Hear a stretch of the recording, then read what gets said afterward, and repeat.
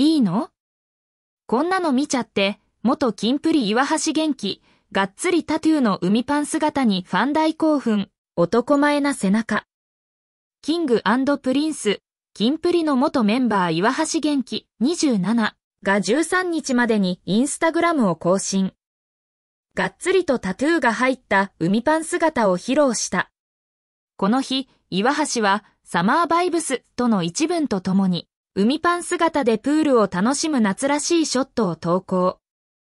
岩橋の両腕にはいかついタトゥーがびっしりと入っており、端正で爽やかな顔面とのギャップが感じられる。岩橋さんといえば、以前からインスタグラムでタトゥーを披露。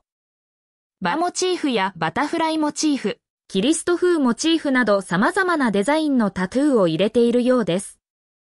また、キンプリ時代とは全くイメージの異なるやんちゃ系コーデ写真を投稿することもあり、ファンを喜ばせています。キンプリ脱退後は従来のイメージにとらわれず、ビジュアル含めて自由なスタイルで活動しているようですね。女性誌ライター。岩橋の肉体が眩しいプールショットに、ファンからは、ちょ。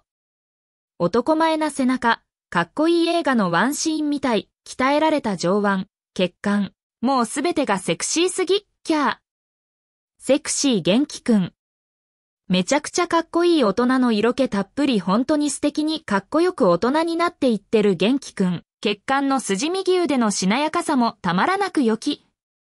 元気くんこれは太っ腹大放出ですよ、と絶賛のコメントが寄せられている。なんてかっこいい背中なの。